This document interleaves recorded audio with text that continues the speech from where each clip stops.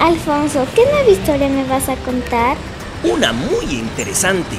¿Has oído del padre Almeida? El padre Almeida... Mm, no, no recuerdo. Hace varios siglos ya, en el convento de San Diego, vivía un joven sacerdote, el padre Almeida, aficionado al aguardiente y a la juerga. Al aguardiente y la juerga. ¿Cómo es eso? Cada noche, el joven padre salía del convento por una pequeña ventana, pero como ésta le quedaba muy alta, subía hasta ella apoyándose en la escultura de un Cristo yaciente.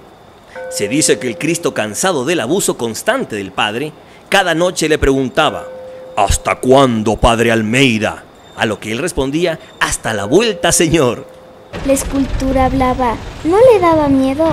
Al parecer no, porque cada vez que salía el sacerdote daba rienda suelta a su ánimo festivo y del aguardiente disfrutaba sin control.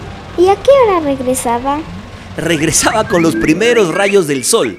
Aparentemente, los planes del padre Almeida era seguir con ese ritmo de vida todo el tiempo, pero el destino le jugó una broma pesada que le hizo cambiar definitivamente. ¿Qué broma fue esa?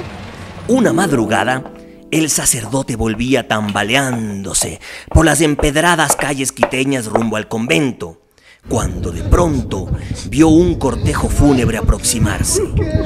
Le pareció extraño ese tipo de procesión a esa hora y como la curiosidad fue más fuerte, decidió ver quién se encontraba en el ataúd y para su sorpresa observó su cuerpo en el féretro.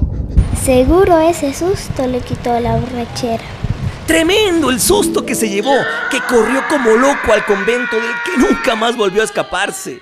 Buena lección la que recibió el padre Almeida. Sí, nunca es bueno abusar de las cosas y menos aún de la suerte. Sí, tienes mucha razón. Espero hayas aprendido algo bueno de esta historia. La próxima será igual de interesante y con buenas enseñanzas también.